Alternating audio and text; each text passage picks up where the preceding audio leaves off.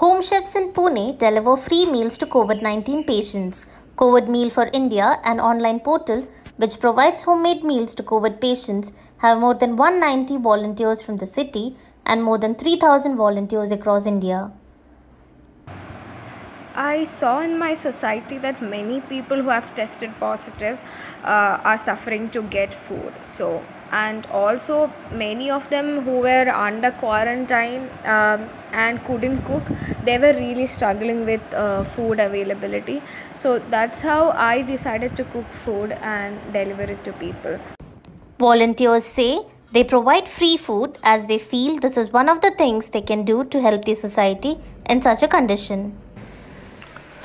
I stay around here. Uh, my maid used to cook food for me, but when I tested positive, she stopped coming. A friend of mine told me that there are people who deliver homemade food to your doorsteps. Uh, it was a great help for me.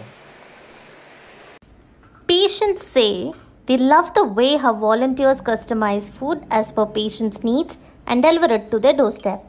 During this time, eating healthy home cooked food and completely avoiding outside or junk food is very necessary for good immunity. Experts say balanced and healthy diet is a key to recovery and we cannot help but agree. I am Arpitha Ajayakumar reporting for CityCast.